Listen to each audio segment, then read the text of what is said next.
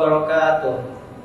Innal hamdalillah nahmaduhu wa nasta'inuhu wa nastaghfiruh wa na'udzu billahi min shururi anfusina wa min sayyiati a'malina. May yahdihillahu fala mudilla lahu wa may yudlil fala hadiya lahu. Asyhadu an la ilaha illallah wa asyhadu anna Muhammadan abduhu wa rasuluhu alladzi la nabiyya wa ba'dahu. Pertama-tama marilah kita panjatkan puji setara syukur kita kepada Allah Subhanahu wa taala yang telah melimpahkan karunia dan rahmatnya dan juga telah melimpahkan kepada kita nikmat sehat sehingga kita dapat bertemu kembali dengan bulan suci Ramadan ini. Bulan suci Ramadan tahun 1440 Hijriah ini. Alhamdulillah kita dapat bertemu kembali dengan bulan suci Ramadan ini karena tidak banyak orang itu. Banyak orang yang ingin bertemu dengan bulan Ramadan 1440 Hijriah ini tapi Allah wafatkan sebelum datang bulan Ramadan. Maka ini termasuk Salah satu nikmat yang paling besar yang Allah berikan kepada kita adalah nikmat sehat yang harus kita selalu syukuri. Salah satu cara mensyukuri nikmat yang Allah berikan kepada kita adalah dengan berinfak dan bersodakoh. Masya Allah, balasan untuk orang yang suka berinfak dan bersodakoh itu luar biasa balasannya dari Allah. Allah berfirman dalam Quran surat Al-Baqarah ayat 261 yang bunyinya Matalul ladina yunfikuna amwalahum fi sabilillah perumpamaan orang yang menyimpangkan jalannya di, di jalan Allah itu kama tali haba kata Allah itu seperti sebutir biji. Ambata sabasana bila. Dari sebutir biji itu tumbuh tujuh tangkai. Fi kulli sumbulatin mi'atu habba kemudian dari setiap tangkai yang tujuh itu satu tangkainya itu menumbuhkan 100 biji. Jadi kalau ditotalkan menjadi 700 700 kebaikan yang akan kita peroleh dari Allah taala. Contoh misalkan saya punya dua pulpen. Kemudian saya berikan satu pulpennya lagi ke saudara saya.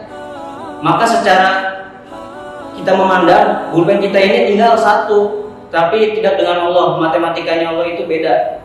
Ketika kita berinfak dan bersedekah, kita keluarkan harta kita di jalan Allah, maka Allah akan membalasnya sebanyak 700 kali lipat.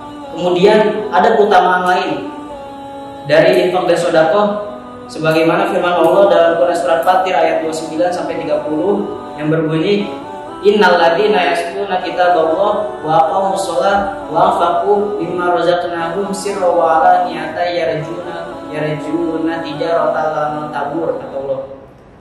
Sesungguhnya orang-orang yang membaca kitab Allah, orang-orang yang mendirikan sholat dan orang-orang sebagian hartanya di jalan menyimpangkan sebagian hartanya baik dalam keadaan sembunyi-sembunyi maupun terang-terangan mereka itu mengharapkan ijarah Allah tabur kata Allah itu mereka itu mengharapkan perniagaan yang tidak akan rugi.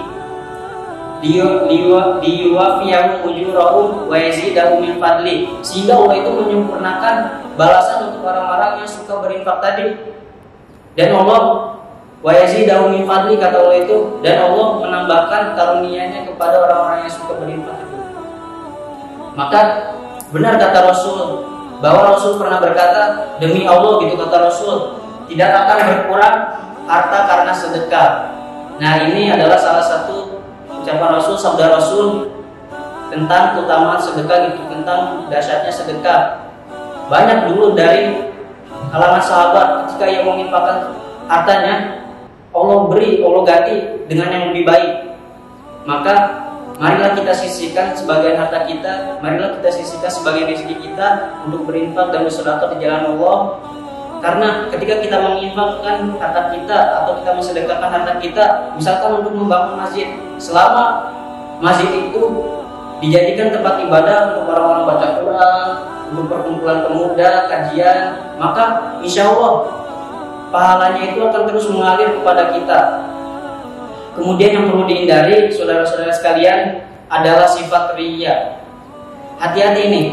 Sebelum kita menginfakkan dan kita mensedekahkan harta kita di jalan Allah, kita luruskan niat kita, hindari sifat ria. Karena Rasul itu sangat mengkhawatirkan dari umatnya yang ketika berbuat kebaikan itu ada sifat ria. Sifat ria ini seperti rayap yang memakan kayu.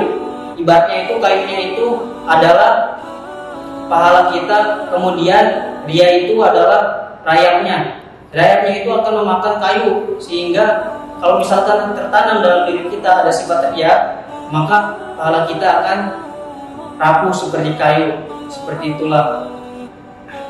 Jadi mumpung kita masih ada waktu, mumpung kita masih hidup, karena tidak ada yang tahu apakah kita akan bertemu lagi dengan bulan Ramadan tahun depan tahun 1445 Hijriah, kita sisihkan sebagian harta kita, kita infakkan sebagian harta kita, dan khususnya nanti di akhir itu akan ada zakat fitrah. Kita sucikan harta kita, kita bersihkan harta kita dari kotoran-kotoran. Oleh karena itu saudara-saudara sekalian, bagi kalian yang ingin berinfak atau bersodakoh bisa kepada kami di Yayasan Harapan Robani. Silakan klik link di bawah ini. Mungkin hanya sekian. Semoga apa yang saya sampaikan dapat bermanfaat dan dapat diamalkan dalam kehidupan sehari-hari. Kurang lebihnya mohon maaf bila ada kesalahan silakan di, dikoreksi di kolom komentar.